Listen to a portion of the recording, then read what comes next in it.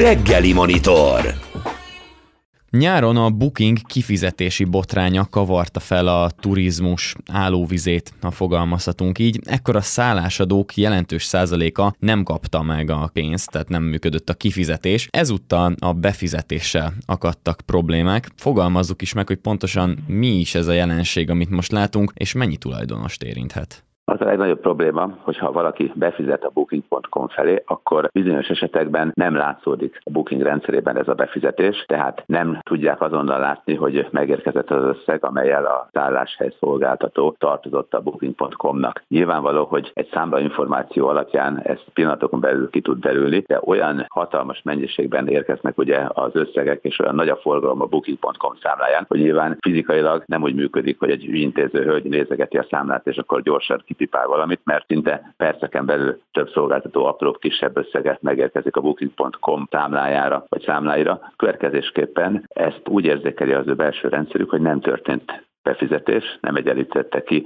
a számláját a szolgáltató, ugye hát a jutalékot kell kifizetni, hiszen ha a booking.com-on keresztül valaki foglal, akkor a booking.com jutalékot kap ezért. Úgyhogy ez az átszólag olyan probléma, hogy hát oké, akkor mi történik, hát effél nem látják, hogy megkapták a pénzt, mi baj lehet ebből. Hát az lehet a baj, hogy automatikusan kiküldi a booking.com rendszere a felszólításokat, és általában a harmadik felszólítást követően, de néha még előbb is letiltja vagy kitiltja az adott szolgáltatót a booking.com rendszeréből, vagy ha nem is teszi lehetetlenné azt, hogy a felületén keresztül foglaljon valaki, de minden esetre a reklámozásból például kiszedi, kitiltja, tehát csak sokadik helyen jelenik meg az adott szolgáltatónak a terméke, a szállodája a listán. Tehát ez azt jelenti, hogy megint gondok vannak a rendszerrel, bár hozzáteszem, a legfontosabb nehézség ebben az, és azt hiszem, hogy talán a Bookingnak nagyon komolyan fel kell ebben fejlődnie, hogy nagyon nehezen tudják mindezt lekommunikálni az ügyfelekkel, és nehéz kapcsolatot teremteni a Bookinggal.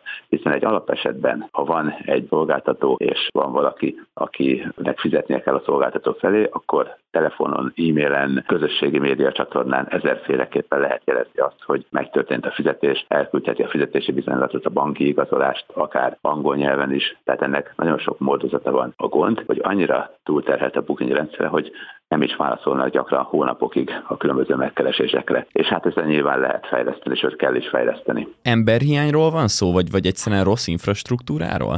Nyilván vannak olyan dolgok, amelyeket egy automatizált módszer még nem tud feltétlenül megoldani. Itt vagy azt kell tenni, hogy olyan mesterséges intelligenciát kell kifejleszteni, ami képes ezeket a dolgokat megoldani, vagy ha ez nem sikerül, akkor igen, fel kell venni jó pár olyan kollégát, amelyik ezzel foglalkozik. Hát nyilván a profit rovására, de azt gondolom, hogy ezek a nagy szolgáltatók sokkal komolyabb ügyfélszolgálattal kellene, hogy rendelkezzenek. Ez egyébként általánosságban az idegenforgalom nagy szolgáltatóira igaz, de a közösségi médiára is igaz.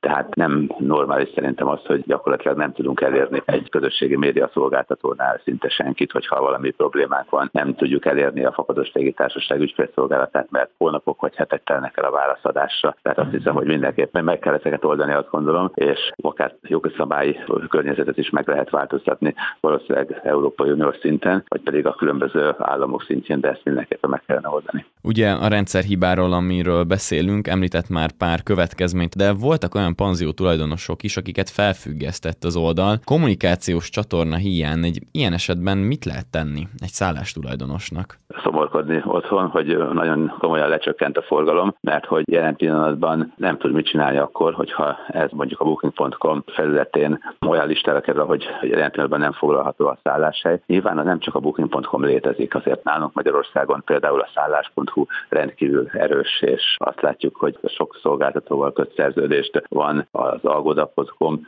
ami egy tájtulajdonú ázsiai rendszer, tehát több rendszer van, de azért a Bookingnak az az előnye, hogy rendkívül gyorsan csatlakozni lehet hozzá, gyakorlatilag pillanatokon belül, és már rögtön megjelenik a nemzetközi rendszerben az illető szálláshely szolgáltató kínálata. Tehát ma már nem kell lasszóval fogni a leendő vásárlókat, vagy különböző marketing akcióba gondolkozni, hanem egész egyszerűen van egy szálláshelyem, és felteszem a bookingra, vagy esetleg még más szolgáltatás különböző szolgáltatóhoz, mondjuk a szállás.hu-ra, az Agodára, és még egy-kettő van. Tehát ha ezt megteszem, akkor utána már várhatom, hogy jöjjenek a vendégek, és árra is tudok realizálni, és profitot is. Pont ezzel kapcsolatban akartam kérdezni, hogy nyilván ez a mostani eset és a nyári eset együtt ugye a bizalmat azért nem fokozza a szállástulajdonosok részéről az oldal felé. Ezek a botrányok, főleg, hogy ilyen gyors egymás utánban következtek be, elfordíthatják ezeket a szállástulajdonosokat ettől az oldaltól, vagy egyszerűen túl globális és, és nagy befolyással rendelkezik ahhoz, hogy azért egy ilyen nagyobb ilyen hullám megfigyelhető legyen? Azt a példát tudnám erre elmondani, hogy betiltott a Facebook, vagy kitiltott a YouTube, vagy nem tudsz tölteni az Instára, elfordulsz te. Hát dehogy is kívánkozz, hogy mire hamar üljél oda-vissza, vagy egy új profilt elindítasz. Tehát egész egyszerűen itt pont azzal van probléma, hogy olyan óriási a gazdasági súlyuk ezeknek a szolgáltatóknak, hogy nem lehet kikerülni őket sok esetben. Tehát ahhoz nagyon jó és az átlagnál az adott kategóriában több mint 5%-kal jobbnak kell lenni, nagyon jó szolgáltatással, egy szálláshely szolgáltatónak, egy hotelnek, egy panziónak, vagy akár egy Airbnb lakásnak, hogy organikusan megteljen, tehát úgy, hogy egymástak mondják az ügyfelek, vagy visszatérnek az ügyfelek, vagy éppességgel a saját oldalukon tudnak annyi vásárlót szerezni. Ismerek olyan szálláshely szolgáltatót, olyan hotelt, amelyik nincs rajta a booking.com-on. Ismerek olyat, amelyik egyáltalán nincsen rajta a különböző ilyen szolgáltatók oldalán, és csak a saját honlapján lehet foglalni.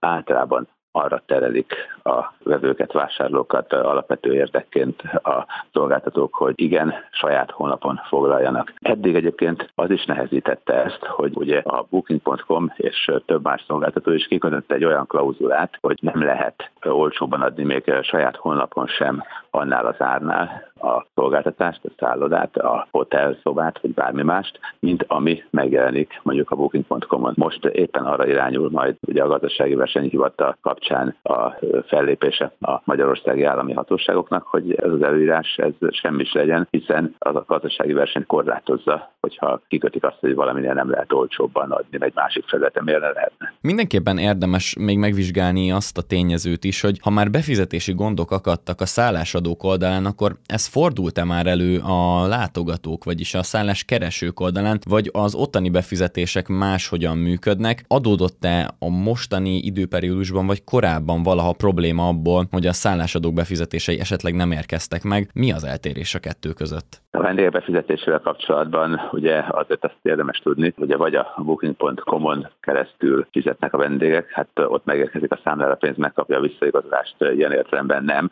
csak a vendégek pénze nem jutott el utána a bizonyos szálláshely szolgáltatókhoz. Vannak olyanok, főleg a kisebb panziók, ahol booking.com fizet utána a szolgáltatónak, és hát ezekből volt probléma. Tehát a túlnyomó többsége a szerződéseknek olyan, hogy a booking.com kap jutalékot, és a szálláshely szolgáltató fizet, és a szálláshely szolgáltatóhoz érkezik be a pénz.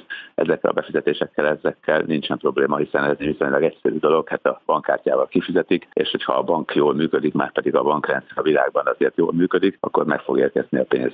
Tehát ez egy túl bonyolult logisztika, és hát igazából banki háttér kell hozzá, nem más. Másik oldalon azzal már bőven volt probléma, hogy mondjuk ezek lejelentése, vagy lemondása, vagy bármi más hogyan és miként történik. Tehát azért azt elmondhatjuk, hogy azért jó pár esetben már rendszer szintű problémák vannak. Nem véletlen az, hogy ez már a többedik eset.